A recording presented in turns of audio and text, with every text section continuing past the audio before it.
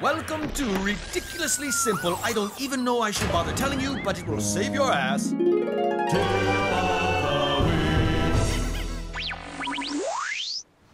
When recording wider lens shots with a lavalier, it's good practice to record a separate ambience track with your shotgun at the same time.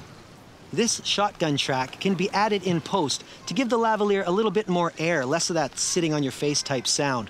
The rule is you can't get any closer than six feet. The shotgun has to be six feet or farther.